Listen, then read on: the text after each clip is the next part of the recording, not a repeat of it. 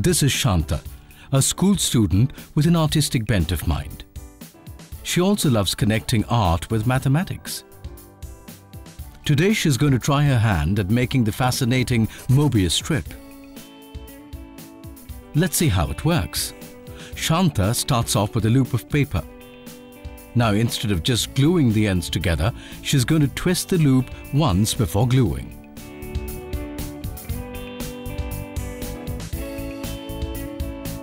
So we get a strip like this, which we call a Mobius strip. Still haven't understood the excitement? Then take a pen and draw a line along the center.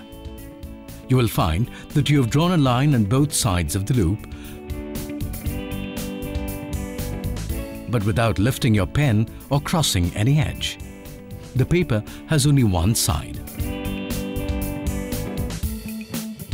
Now take a highlighter and color the edge of the strip. You'll find both edges are colored. There's only one edge. What we have here is a one-sided surface.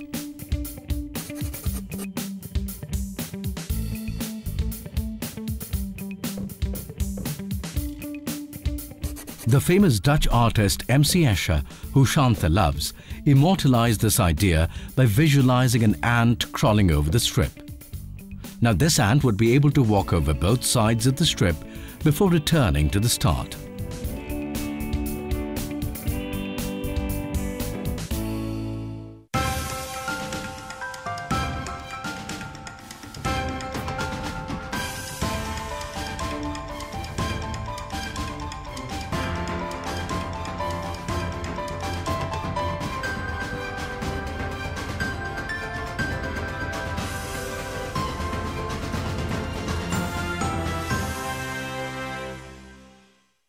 Welcome to the Maths Factor. In this episode, we're exploring a host of magical shapes like the Mobius strip. We'll meet up with potters, ironsmiths, paper folders, and knot tyers throughout the journey through the discipline known as topology. Keep watching, it's going to be quite a ride.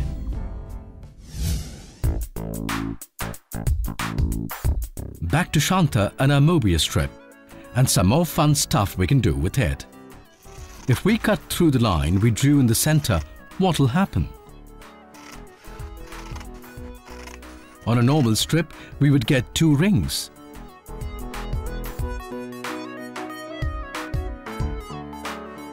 But in the Mobius strip, you will end up with a large single loop. Quite cool, eh? Next, Shanta cuts along a line which divides the strip into one-third instead of half. What do you think will happen?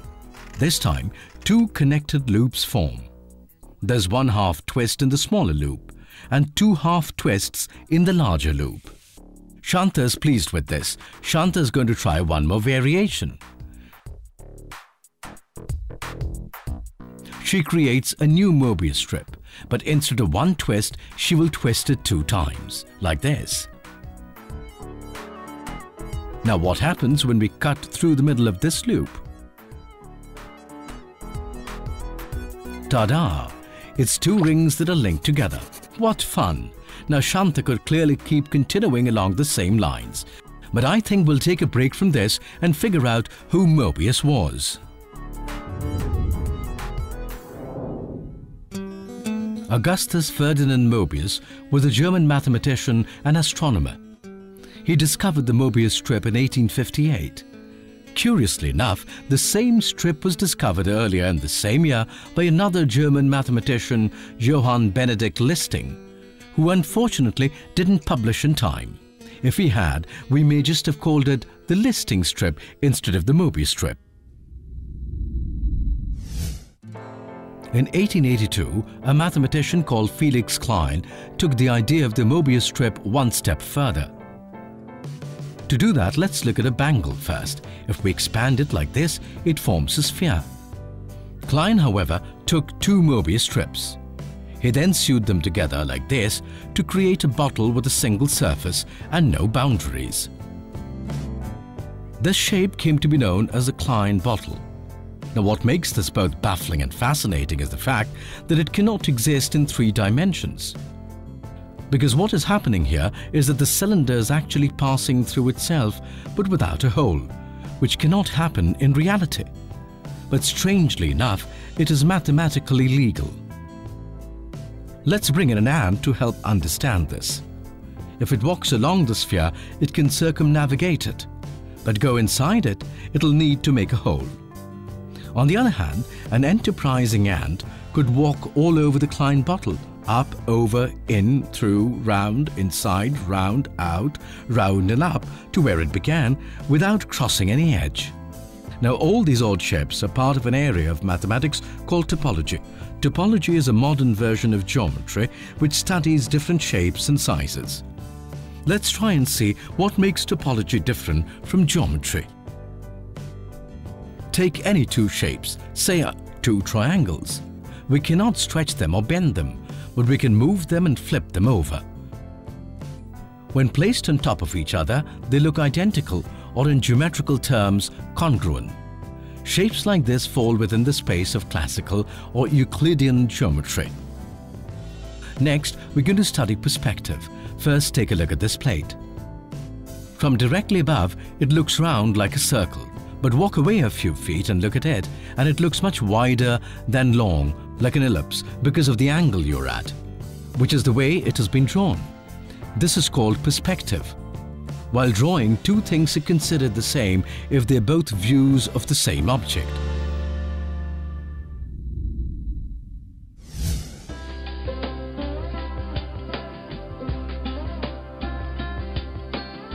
Now we move to the home of Ravikant, the potter, to see how topology works.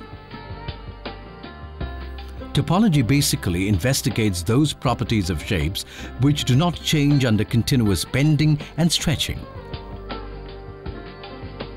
Ravikant first takes clay off the wheel and builds a sphere.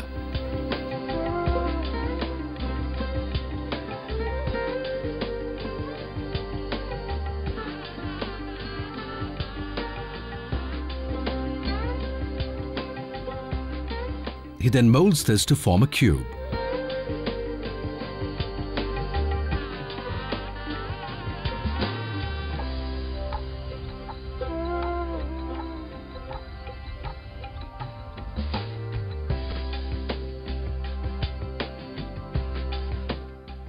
He then molds the cube again to make a figure doll.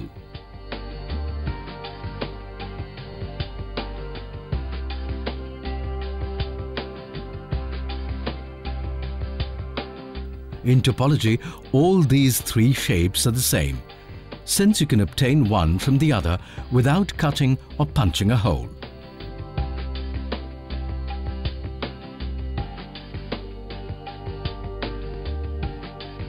Now holes are very important in topology.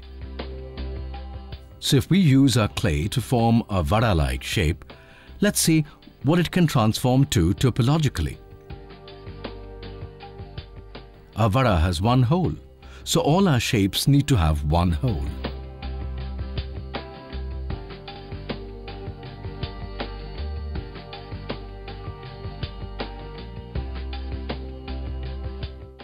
So an enterprising potter can mold the vara to form a needle-like shape and then eventually a coffee cup.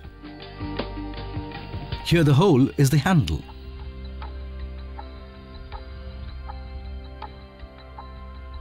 In fact, the idea of a vara or a donut and coffee cup being the same is a classic idea in topology. Now all these figures are the same topologically speaking. However, a figure of 8 is not because it is two holes, not one. We've done a whole lot. Let's take a break now, but we'll be back to explore Borromean rings and papers with three sides. Don't forget to join us after the break on our topological adventures on Maths Factor.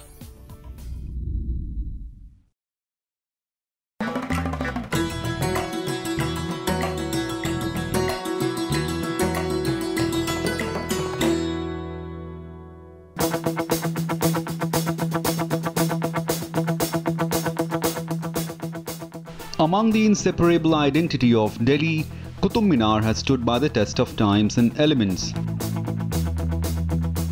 Struck by lightning a few times, the 240 meter star suffered damages on its top story. Firoz Shah Tughlaq and Sikandar Lodi had commissioned the repair under the rule, but the damage most remembered was the one in the 19th century, when an earthquake had damaged the topmost story in 1803. The responsibility of the repair was given to a British officer, Major Robert Smith, who had placed a pillared cupola on the top of the minaret.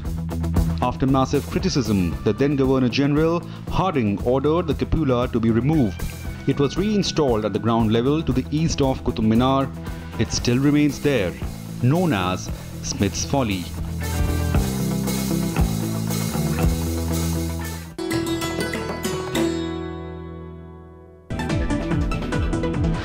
पिछली चार तिमाहियों में विकास की दर में लगातार हुई है गिरावट। बेरोजगारी भी है चरम पर। कैसे निपटा जाए इस समस्या से? जानने के लिए देखिए मेरे साथ अर्थनीति, शनिवार शाम साढ़े सात बजे सिर्फ़ राज्यसभा टेलीविज़न पर।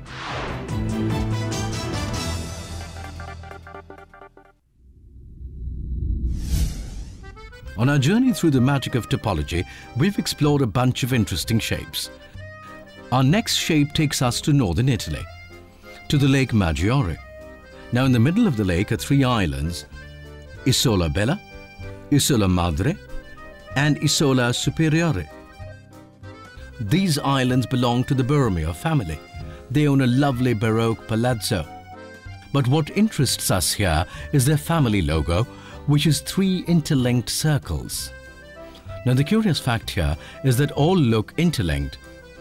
But if we cover the red circle, the other two look they're on the top of the other, not linked in any way. We can do the same thing again by covering the green and blue circles also.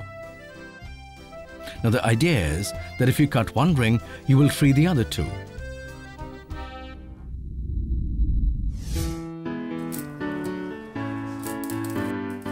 Let's try our hand and constructing Borromean rings to see if that really works. To do that, we need to meet up with Om Prakash, who is an ironsmith. What he does is take two pieces of iron. He then molds them to form rings. He places one on top of another. Then he creates a third ring that he weaves through the other two.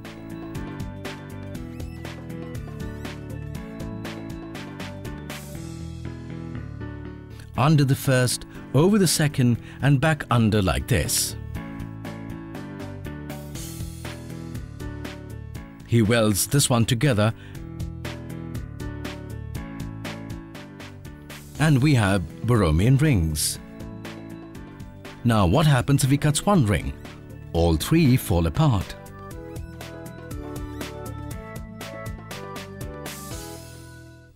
Now Borromean rings seem to have a mystical resonance. If we travel to the Marundeeswarar temple in Chennai, we can see Borromean figures carved in its pillars that date back to the 6th century. In Christian art, Borromean rings are often used to represent the Holy Trinity. The same arrangement can be made with interlocked triangles. These were a symbol of the warring Vikings and is known as the Valknut. Now the Valknut symbol is often found in places where there are fallen Viking heroes. It has also been found carved into a bedpost used in a ship burial.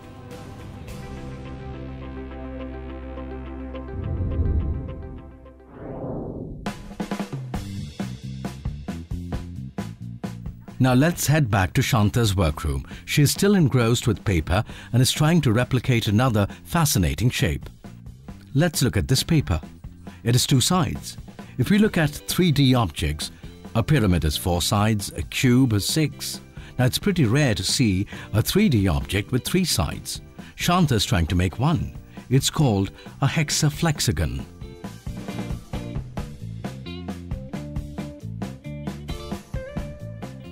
She starts off with long strips of paper like this. And then she starts folding them in a zigzag way to make shapes. Now let's slow Shanta down a bit and see what she's doing with this paper. She folds them to form a series of equilateral triangles. Then she does a series of flip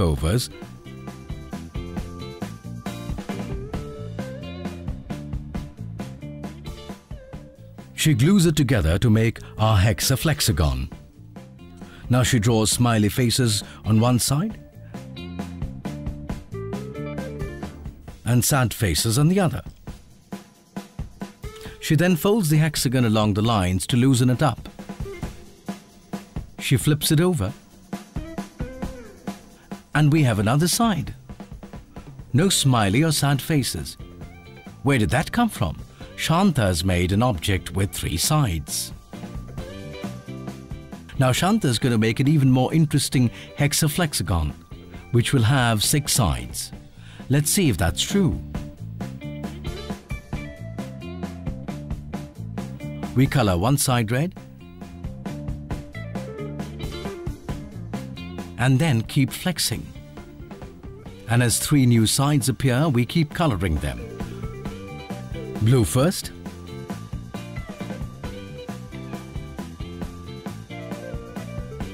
Then green. Yellow.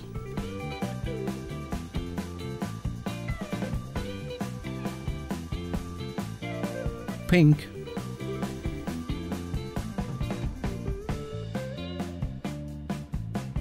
And purple. Wow, one paper with six sides. Quite magical, right?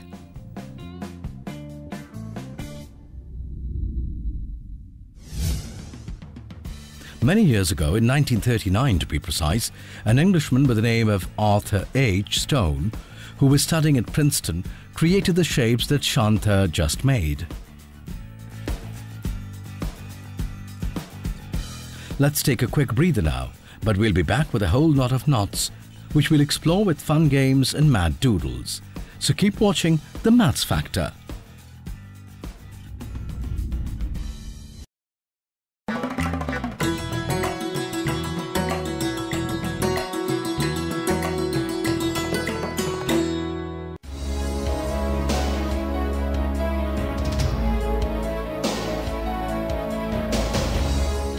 Succeeding Muhammad bin Tughlaq, 45-year-old Firoz Shah Tughlaq took over the reins of a shrinking Delhi Sultanate. As he decided not to capture the areas lost, Firoz Shah built another city to house his capital. Firozabad, the new city of Delhi, was chosen to be founded in the year 1354 on the banks of river Yamuna. The fort, which is today surrounded by a vast expanse of Delhi's urban growth, once stood as a symbol of an all-encompassing city. Firoz Shah Tughlaq's kingdom is also remembered for a department of charity called Diwan-e-Khairat. Within his city, he constructed several hospitals, sarais and roads. Opened a hospital for the poor in Delhi called Darul Shifa. Great gardens were laid out in the city as per the account of Shamsi Siraj Afif. The number ran as high as 1200 gardens. Though smaller in size than the mighty Tughlaqabad, massive ramparts were also built to withstand any attack.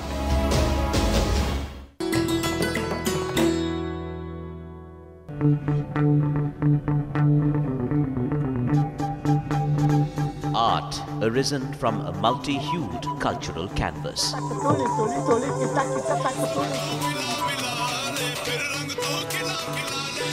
Tradition and cultural fervour dating back centuries.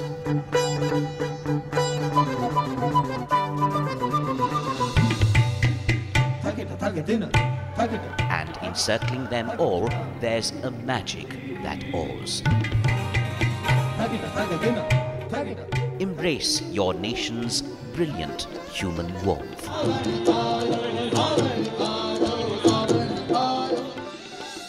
Watch Colors of India, Sundays at 9.30 pm on Rajya Sabha Television.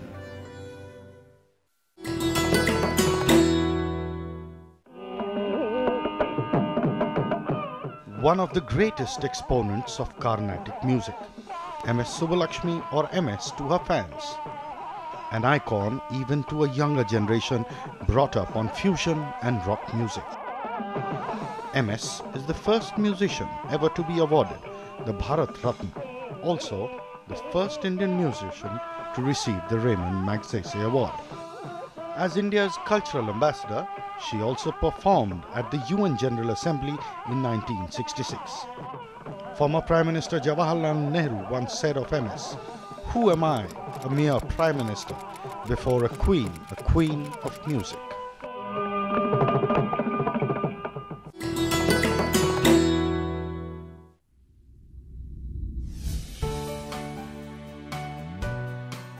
We're exploring an area of mathematics called topology in this episode. We've already explored holes, rings and strips. Now let's move to knots. Knots populate a life. From tying a shoelace to tying a bow to untying an animal to tying a ribbon on a present, knots are an integral part of our lives. And they've been for a very long time.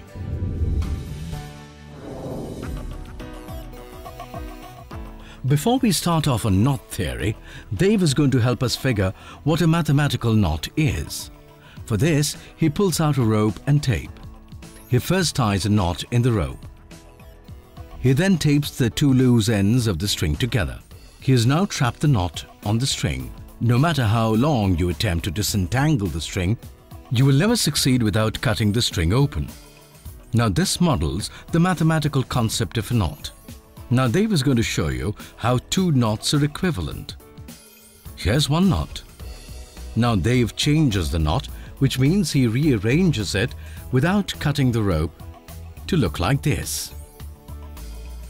According to knot theory, this and this are equivalent. Now we have a bunch of kids who are going to try another fun game to learn about knots. Let's call it Untwister. They all stand in a circle. Then they join hands, but not with the person standing next to them. And both hands are not joined with the same person.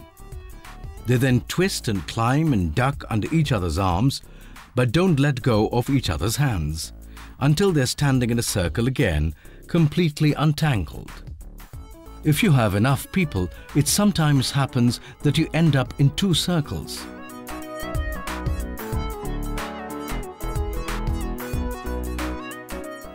so a fun game can teach us a bit about maths. Now the mathematical theory of knots was born out of attempts to model the atom. Near the end of the 19th century, Lord Kelvin suggested that different atoms were actually different knots tied in ether that was believed to permeate all of space. Physicists and mathematicians set to work making a table of distinct knots believing they were making a table of the elements. Now this idea, fascinating though it was, was proved untrue, but it led to the development of knot theory as a mathematical discipline.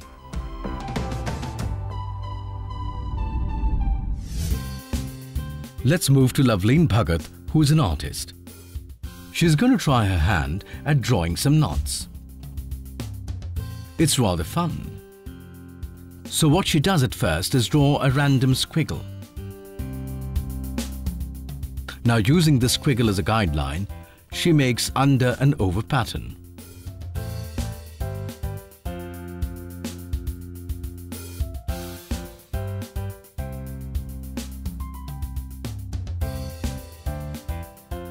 And then she completes the knot. Then she tries her hand at a more elaborate squiggle and with a felt pen this time, it can have as many loops as possible, but the final two ends. One interesting insight, any direction that you go and any amount of branchings that you take always make a perfect over-under pattern. Now Mrs. Bhagat gets more adventurous and tries a hand at drawing Celtic knots. These are historic patterns that appear in Scotland and also in Roman mosaics and patterns by Vikings and Saxons as well.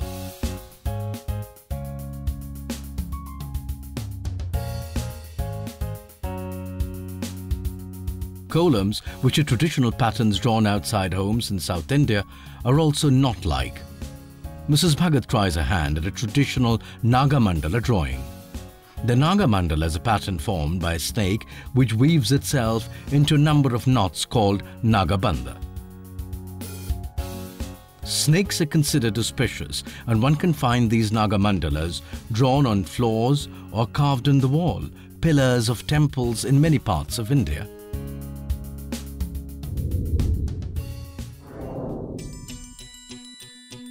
I think we are all knotted out, so let's move into another zone where I want to introduce you to my favorite mathematical theorem. It's called the hairy ball theorem, and yes, it's a name that charms me. So what does the theorem state? Take a ball covered with hair all over. Now, however we comb this ball, the hair will never lie flat. There will be at least one special point from where all the hairs radiate or a tuft where all the hairs meet and protrude. Well, it can be applied to other situations such as wind currents on planet Earth.